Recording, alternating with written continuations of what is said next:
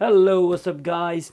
Well, uh, today is uh, unboxing and uh, also a setup of uh, a new gizmo I bought for myself, actually, uh, which is a Netgear uh, ReadyNAS. Okay, it's a 4-bay network attached storage device, which is model number is RN104.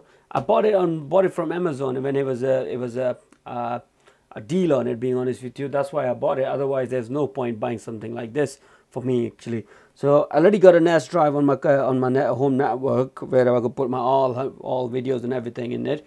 But thing is, I could not access it from abroad or anything like that because most of the time I have to travel abroad for my business trips and things like that. So that's what's going to help me. Actually, I can set up the Plex server and have different different things on it, so I can use it on uh, use it on the go. So that's what I'm going to do, and it's going to hold all my all my all my uh, movies and everything on it too.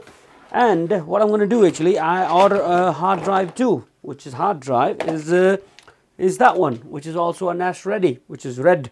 Okay, it's a NAS ready drive, WD red NAS hard drive. Okay, rather than buying a green one, I bought this red one. I thought it was a recommended one, that's why I bought it. Don't ask me question about it. Why, why, and why? What is the difference between green and green and red? Simple as that. It said that you know it's, it's recommended for that particular particular. Uh, uh, device. So i just bought it. Simple as that. It was pretty expensive but it's all right. You know sometimes you got to spend a little bit of money to get up quality. So it's a four terabyte which is by w uh, wd okay.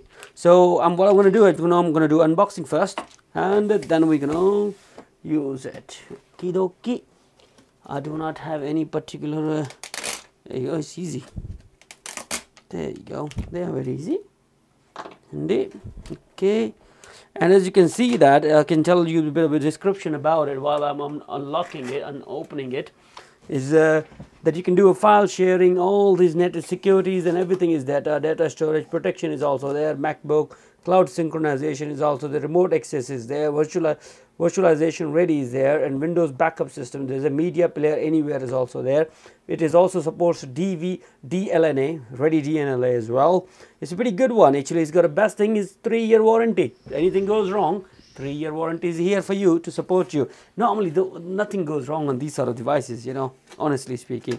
My NAS is other NAS is running from that is from D-Link actually. It's been running from last uh, last four years you know. I never had any problem with it. So what you got inside okay? Just right there you got a you got a just box right there. In this box what we got inside oh here we go. Simple uh, adapter adapter AC adapter, European plug, sorry, UK plug, Ethernet cable, because it's not a Wi-Fi enabled, it's an Ethernet cable, and also European connection, oh, American, actually American connection cable too. So let's put them all separately. Once it comes to the powering up, we're gonna do that and put the put this all different different things separately. Okay, let's open up over the main thing, which is the main show thing. Okay, what else we got in here? Uh, a little bit of instruction manual and the CD for the resources and everything obviously to how to set it up and things like that to make it much easier for you guys to understand it. That's very handy to have. Okay let's open up. There you go. Simple as that. Box is empty. Let's throw it throw this box away. Don't need it. There we go. There you go. Straight away Here's our hard drive, simple, sorry, not hard drive, NAS, NAS drive system. Take it out, take it out, simple as that. There we go, let's open up. Looks very nice. Looks very good actually, being honest with you. In the front right here, we got a USB card, USB port on it. Obviously, will let you let you put uh, USB USBs as well in it. There's a backup button on the press of a button because it's got a four hard drive and you can set up the RAID controls and everything. So it's got a full hard drive. You press off the button, it will back up all these different different things on you. Obviously the power button, and also this is a I think action button too. And right there, right here, it's got a one, two, three, four. That means that defines the bay, hard drive bay, which is running on things like that. You can simply open up like that. And right here in the front, it's got a display in it where you're going to display all different different things like you know IP addresses and things like that so these are our hard drives. How do you how do we open them? So that's the question to me. Okay there we go right there in the middle here. It's got a button right there. So you're gonna obviously gonna tick over this button to get him out. Here we go. It, there's a button right there.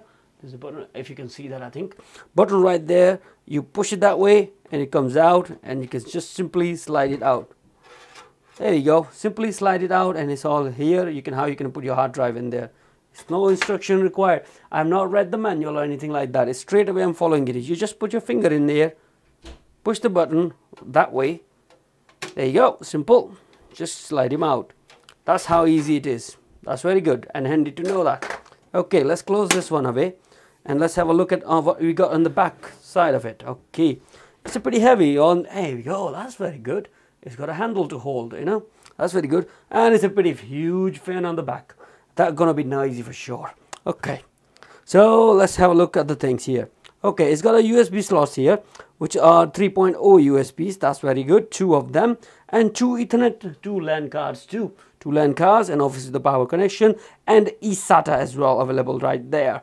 There you go. It's pretty all handy and useful connections are there. So that means you know even though after using this 4 hard drive you wanted to put something else on it shouldn't be a problem. On the back here you can hook it in simple as that there you go that's not that's not bad at all and it's very firm as well you know once you put it somewhere, it just stays there. Simple as that. So what I'm going to do, I'm going to power it up and uh, fix it uh, on my Netgear router, which is just down, down, down, uh, down, uh, down into my living room. So I'm going to configure everything right there. It's a simple connection. Obviously, I'm going to connect this my to with my router by using the Ethernet connection. So and power it up and everything and put the hard drive. Let's let's install the hard drive and show you how to install it. Hopefully, I'll be able, to do that without any instruction. But let's see. I'm going to install only one hard drive. I'm not going to install the three, three, four, you know, because I'm not bothered. It's going to be only kept in the movies, so not not bothered. You know how it's going to hold it or not, whatever. Doesn't matter. Mm, okay, a little bit of instruction right here. That I need to read a bit, a little bit about it. Being honest with you, so it's going to go like that. So let's. There's a little bit of instructions available right here. How you're going to do that. So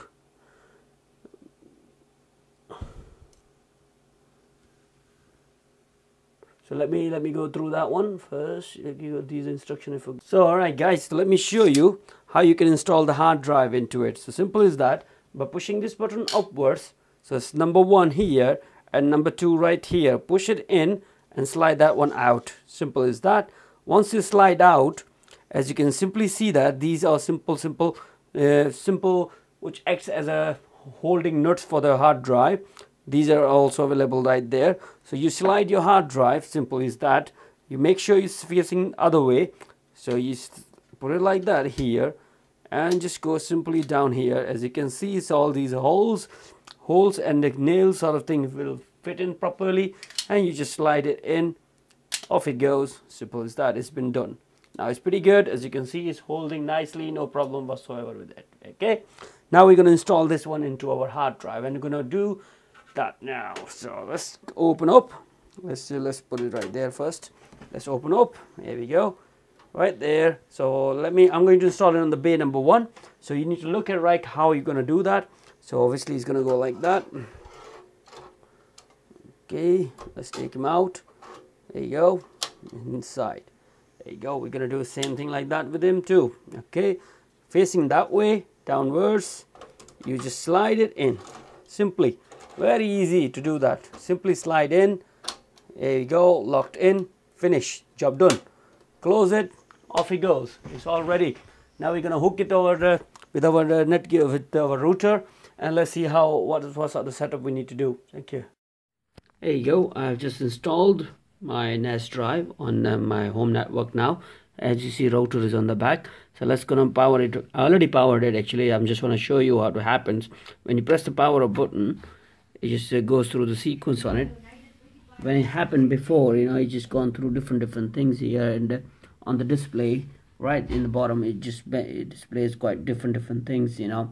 It uh, it did a bit of upgrade of the software as well on it and it was just straight away ready. Here you go it's booting up.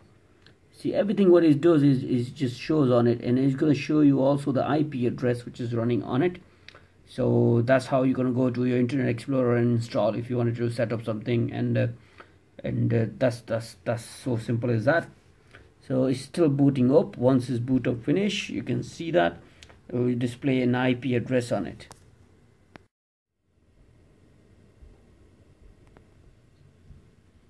There you go. Now it's ready and uh, NAS ready is there and also it'll displays time to time the IP address. There we go. IP address has also been displayed. It's uh, selected auto IP, IP detection. And right on the top as you can see that is already put the hard drive on number one bay. And this button which says it's ready and power button that's it. So let me go back to my computer and understand it what else we need to do.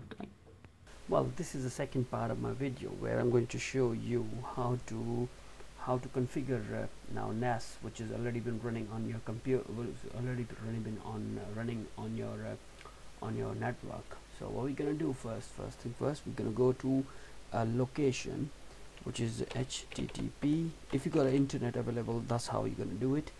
So it's called uh, ready. Here we go. This is our uh, address which is called ready netgear.com you just enter it if you got internet connection available that's how you're gonna do it. If you do not have then you have a CD available with your with your uh, with your NAS drive. You're to use that one as a, like a, as a to configure as offline setup. So once you install this one as you can see just right here so it says this from instruction right here welcome to the ReadyNAS cloud. And you start by the setting of the ReadyNAS connected NAS which is connected to the router already and plugged in power is already there. And once the discover once the discover once LEDs stop flashing obviously they will stop flashing the last time I tried it you just need to press the discover button now. Once you press the discover it will find out your NAS drive which is available on your network. There we go. New NAS drive was discovered obviously and is also this NAS drive which is the one which we have got is a ReadyNAS 104 with a one bay installed which is a four bay and but I have installed the hard drive in one of them and that's the serial number for this. Yes we would like to set it up. Okay you press the setup button. Obviously he's gonna do all these uh, new things for you. So I'm gonna just gonna do that.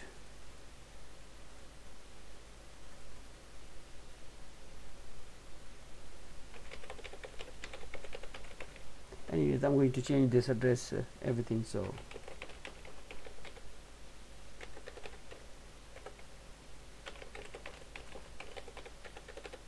so this is the first time setup. Obviously if there's anything wrong with it it will tell us. So you're trying to set it up everything how you want it. There you go it's all set up ready if you wanted to give your ready a name you can give him now. So I'm gonna call my ready is uh, ho home media. Okay we're going to give him a name. Home underscore media underscore server. Okay because I'm going to install all my videos in it. This is this is a limitation so I can have I can have uh, so many not so many names on it. So let's just uh, zone let's decide the zone okay. Oh I'm sorry I'm, I forgot it my zone even I'm on a, I'm on a Greenwich Mean Time actually. Uh, where's it going where's it okay there we go there you go just right there press join. There you go.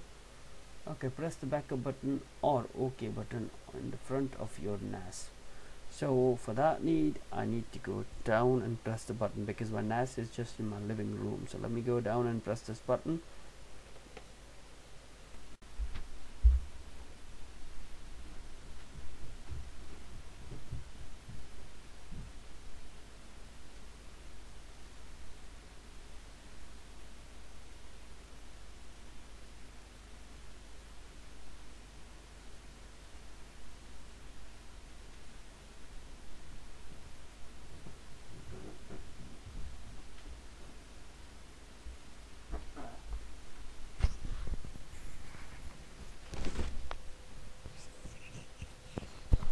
as you can see that. It's almost done so I just pressed it on the display on my device just said uh, just said okay here we go. It's all done and it's all secured. Go next. Here we go. Simply everything is set up for you now. There are three ways to access this ReadyNAS. Now there's three ways. So I can access it anywhere in the world by going into the particular website. I can do that and it's a ready cloud mobile app is also available there. And also PC app is available if you got on Windows computer. So let's get started. Okay he's asking me to update the system. Okay. Okay yes yes I want to update it. It's the first time. I want to update everything on it. So please do not power power up. So this is the procedure which is going to go on and on. So let it finish first. So we're gonna we are still updating it so it's taking a bit of time. So let it be update. Once it's updated I'll come online again. Right firmware update is finished so let's press uh, that's what a screen you're gonna see in the end. So you press ok there you go your NAS is ready and and uh, NAS is done and all ready to use being honest with you. Now it's just nothing else you know. It's a home media actually I put the wrong name uh, okay, that looks alright home media there you go it's all, all up and running. Now you can see this option right here and obviously that thing and manage in the manage you will see all the username and shared link and different different things here. So antivirus is disabled you can have an antivirus enabled too you can have antivirus enabled on it. So let's see what you got in antivirus in there. These are quite many many things in there you know so it's quite it's pretty good actually. I got a 4 terabyte hard drive as I've seen installed it. So obviously installed this firmware and everything is by bit in my about 500 GB there. Sorry 500 something there. There you go guys. So this is what I'm showing you. So first thing for what we're gonna do next time is uh, I'm going to show you how to set up some some different different things on it. You know like if you want to add something some new server or something like that like uh, if you want to set, set a media media you want to set a Plex media server on it and or iShare or something like that different different things I'm gonna do that do that later on. So thank you very much for watching this video and uh, please stay tuned for the next videos as well. Thank you guys. Cheers. Bye